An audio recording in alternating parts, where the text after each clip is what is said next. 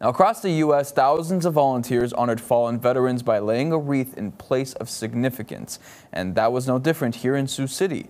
Members of the Lewis and Clark Interpretive Center, along with the Sergeant Floyd Honor Guard, gathered at the Sergeant Floyd Monument today at noon to put a wreath on the fence.